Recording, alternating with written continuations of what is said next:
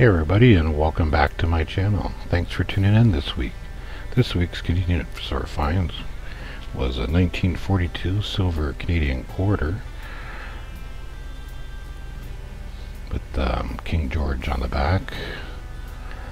Here's the reverse of it. Really scratched up, well circulated coin. Uh, the next coin was a 1945 Canadian silver quarter as well heavily circulated as well. Tons of scratches in it. Here's the reverse of it. King George on the back again. The next one was uh, 1946. 1946 Canadian silver quarter. Again, heavily circulated. Very heavily circulated, this one. As you can see the scratches. Here's a reverse of it with uh, King George.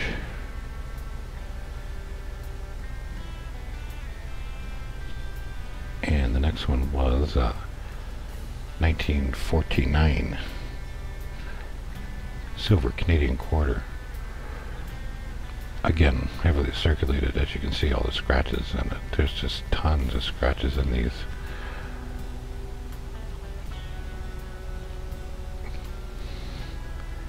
Here's the reverse of it.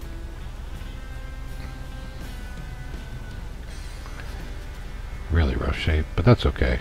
And the last coin I picked up was a 1961 5 Corona from Denmark, I believe. And kind of a weird coin to find in Canada, but hey. And uh, here's a picture of the back of it. Here's the back here heavily circulated. I'm not sure why they took it at the convenience store, but either way, that's all I got for this week. Thank you for tuning in. If you like this video, give it a thumbs up. And we'll see you next week.